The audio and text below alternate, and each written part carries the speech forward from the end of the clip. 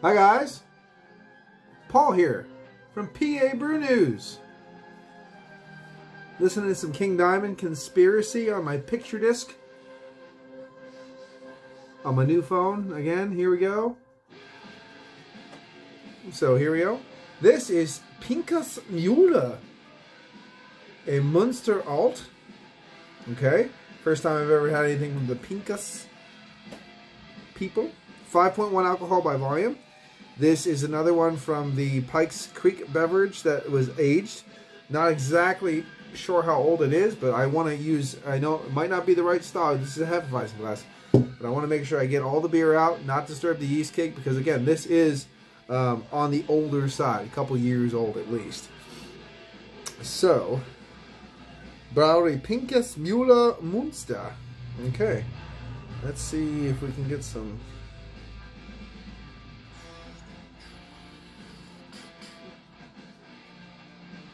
can't really see. Nope. Sorry about that. I'm just kind of checking it out, but I can't really get any good descriptors for you.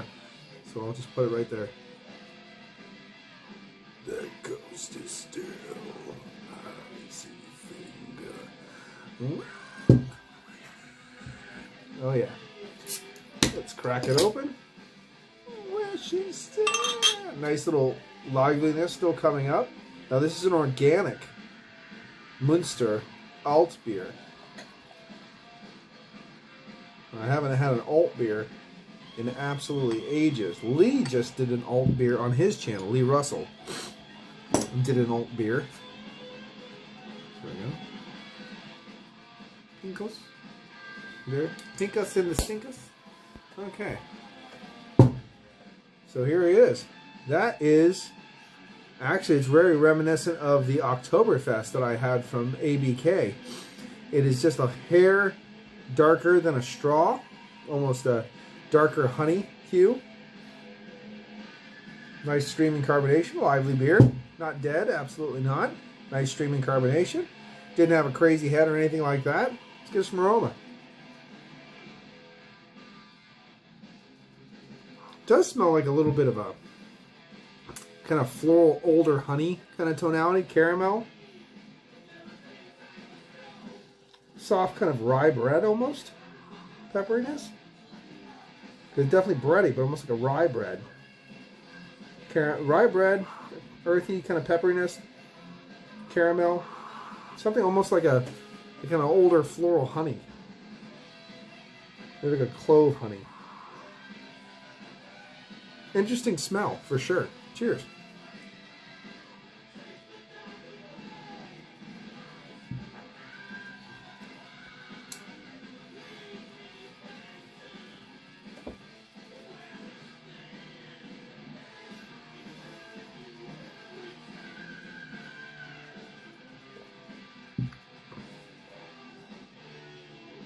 This is an easy drinking beer. This is a really easy drinking beer. Little earthiness. Subtle, subtle earthiness still left from those hops that were initially in there. A little kind of nuance of a floral tone, but it's kind of basically gone. Very soft, earthy tone. Running through the palate all the way in the back. Rather, rather clean. A little bit of a, as I said, almost a hint of a, a faint hint of a breadiness, kind of tapering on a rye bread with a little bit of caramel backer, like a little toffee caramel backer on the way down. Pretty nice. It's kind of like uh, if you put take take a nice like a soft uh, like a, like an Irish breakfast tea or something like that, and you put a little bit of honey in there. It's not super sweet, but you have a little bit of a floral tone, a little bit of a sweetness in there, kind of like that, with that little bit of caramel, uh, mixing in with that subtle floral tone, subtle sweetness subtle caramel tone in the background. And then under that, just a little bit of the earthiness, that brighty earthiness. It's pretty good, actually. Another easy drinker, man.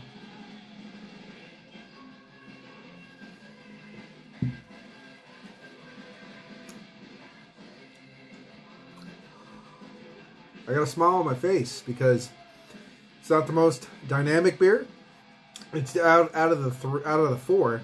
I just had it's not the most boring either. It's actually quite enjoyable. It's got that like little bit of a hint of a rye tone, a little bit of that kind of earthiness that's still left in there to give it a little bit of a zip.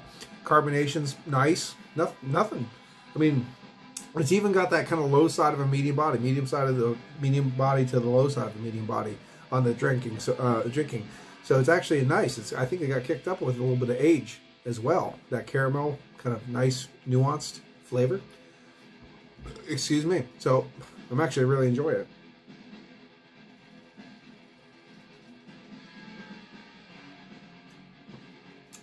Mm. Yeah. Just another nice crusher. And I felt perfectly fine after I drank those other three. So I'll feel perfectly fine after I drink this. And look at the epic lacing. Look at that lacing. Ooh. Good stuff. Hmm. Now again, I don't know what it's like fresh, so I'm, I can not give it a really super great score or anything like that. But for what this is, it's kind of checking all the boxes for me. I'm happy with it. I'm very pleased. I think it was a good buy, good price. Uh, I have, you know, 20 more of these to enjoy at a really good price. I, I'm, I'm just tickled pink. Every case I bought was a solid beer. And a great price at them too. You know what I mean? A great price for solid, nice drinking uh, beer that you know can handle age because it's already down. It's already there. So you just when I want to, I go grab some. I'm not in a hurry. I'm not in a rush. Have to worry about the hops fading and all this craft beer nonsense. I just go get one.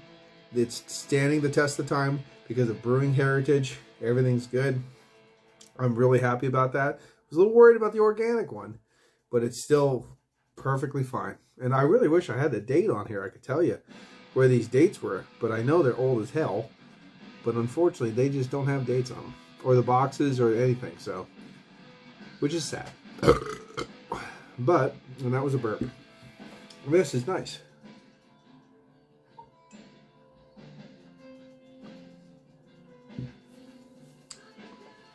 And I know my videos get reversed for some reason on this phone, so I will make sure I reverse it back before I upload it to YouTube.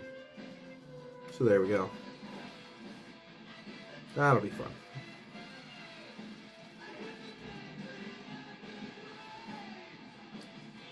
It's almost gone. I'm just enjoying some King Diamond. Oh, my picture disc. It's very old.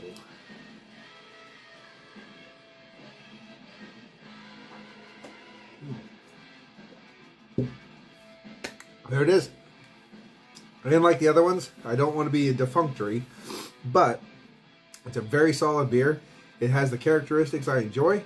Uh, I'm very happy with what I found out. So I'm going to give it a 7.5. You know, it's it's good, and it's a uh, it's definitely above a lot of other beers, if you know what I mean. So definitely go for I'd go for this one above a lot of stuff you can easily buy at the stores. So I'm going to give it a 7.5. Let me know if you've had this, your thoughts and opinions, and until then, cheers. Watch that finger. Bye bye.